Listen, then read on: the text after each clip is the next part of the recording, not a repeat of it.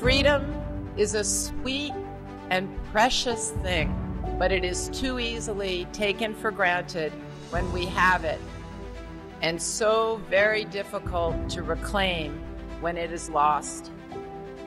I'm one of the lucky ones.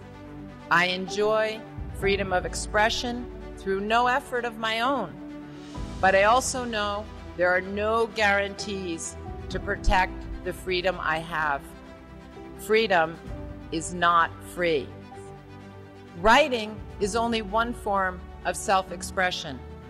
Whether we are doctors, nurses, dentists, merchants, writers, teachers, marketing specialists, or software designers, we all need freedom to engage in creativity and innovation and involuntary transactions of commerce, to enjoy the fruits of our labor, and to use them as we see fit.